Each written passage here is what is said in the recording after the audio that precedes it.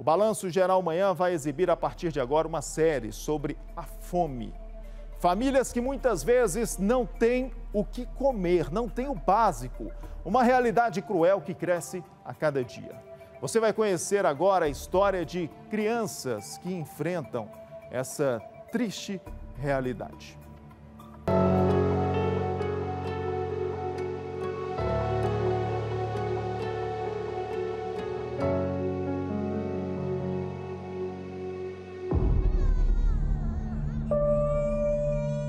Choro é de quem mal teve o que comer.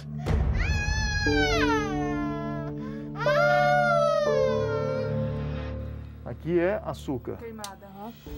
Pra pôr o leite. Açúcar, você vai misturar o leite aqui E deixar ferver. e deixa ferver. Aham. Só tem isso. Uhum. A primeira refeição do dia só veio no final da manhã. Um copo de leite com açúcar e algumas bolachas.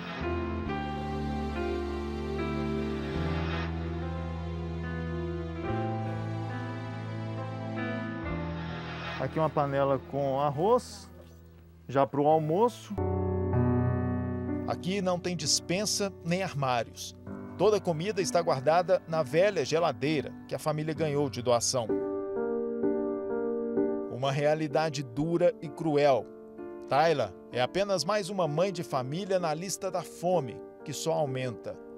Um relatório da Organização das Nações Unidas apontou que uma em cada dez pessoas no mundo enfrentaram a fome no ano passado. No Brasil, o número chega a quase 20 milhões de adultos e crianças que sentem na pele, ou melhor, no estômago, a falta de comida. Você mostrou aqui o que vai fazer para o almoço. É. E depois? Para janta, para o lanche Arroz e da tarde, feijão. para amanhã. De noite arroz e feijão. E amanhã? De amanhã é arroz e feijão de novo. Depois de amanhã? Também. A fome dói. Dói. Muito.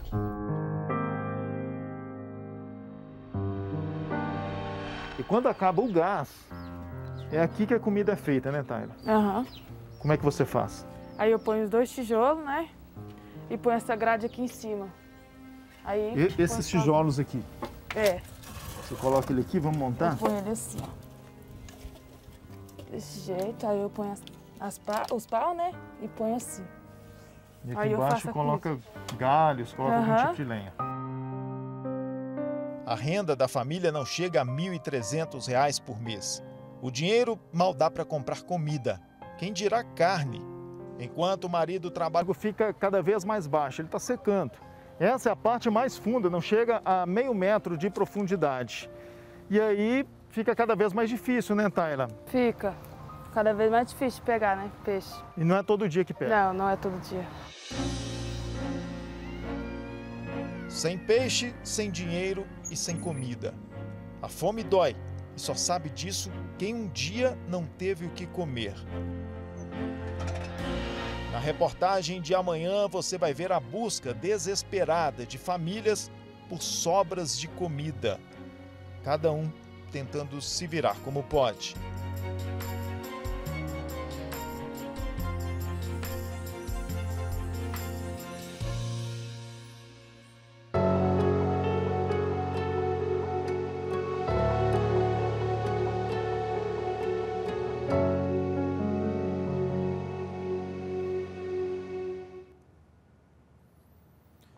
Chega a dar um nó na garganta. E olha que eu estive lá, vendo.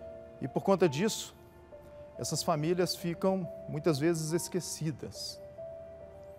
Mandar um abraço para o Tiago, faz parte até de um grupo de voluntários que eh, sempre que pode ajuda essa família e outras também. Mas eles precisam de mais.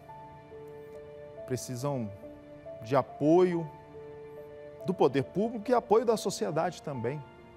Além de comida, essa família precisa de uma casa. O terreno é deles.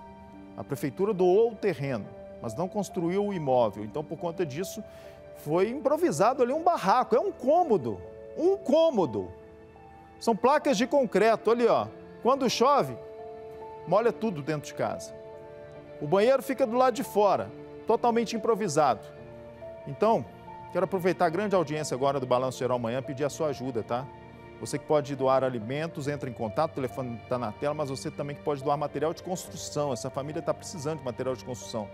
O esposo da Tayla é servente pedreiro, então com relação à mão de obra ele até consegue, ele vai trabalhar, é, amigos ali, parentes vão se mobilizar. Você que pode ajudar, entre em contato. Telefone 62991465671. Esse número é da Carita, a Carita é vizinha da família, isso porque a Tayla nem telefone tem nem telefone tem. A Carita, que é a vizinha, muito próxima, muito amiga, você pode entrar em contato comendo osso no almoço para não morrer de fome, porque não tem dinheiro para comprar carne, não tem dinheiro para comprar comida. É a segunda reportagem amanhã aqui no Balanço Geral Manhã.